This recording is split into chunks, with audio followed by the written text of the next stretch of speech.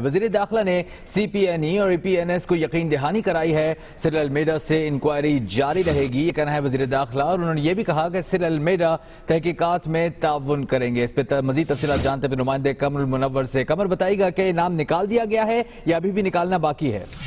جی بالکل، ان کا نام جو ہے اب جو ای سی ایل کی لسٹ ہے، اس میں سے نکال دیا گیا ہے۔ اور وزیر اعظم چودھری نثار علی خان کی آج یہ ملاقات تھی، اے پی، این ایس اور سی پی این ای کے عہدیداروں سے۔ اور اس ملاقات کے دوران جو ہے اس حوالے سے جو سٹوری تھی اور اس سٹوری کی جو بعد میں جو ریاکشن آیا، اس پر باقاعدہ طور پر ڈسکشن ہوئی، جس کے بعد یہ فیصلہ کیا گیا تھا کہ ان کا نام جو ہے، اب ای سی ایل سے نکال نکال تو دیا جائے گا، تاہم یہ انکوائری جو چل رہی ہے، وہ اس میں شامل رہیں گے اور اس انکوائری کو جو ہے، پایا تکمیل تک پہنچایا جائے گا۔ اور اس جو انکوائری ہے، اس میں جو سرل المیڈا ہیں ان کو انہوں نے بھی یہ یقین دہانی کرا دی ہے کہ وہ اس جو تحقیقات جاری ہیں اس تحقیقات کا حصہ رہیں گے۔ تاہم اب جو ہے یہ فیصلہ کر لیا گیا وزارت داخلہ میں اور اس کی یقین دہانی جو ہے وہ بھی کرا دی گئی ہے۔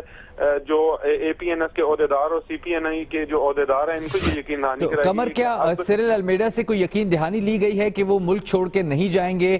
اگر ان کا نام ای سی ایل سے نکال دیا گیا ہے تاکہ وہ تعاون کر سکیں اس تحقیقات میں؟